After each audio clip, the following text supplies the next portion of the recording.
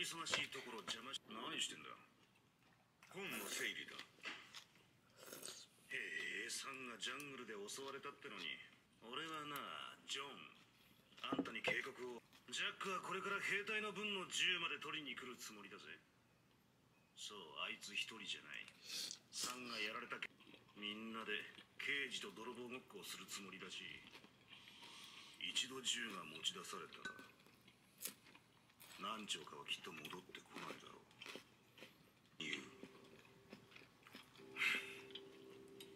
ジャックが気に食わねえんだ俺だったら今その鍵の番号番号を変えてとりあえずは防いでもいつか分けられる。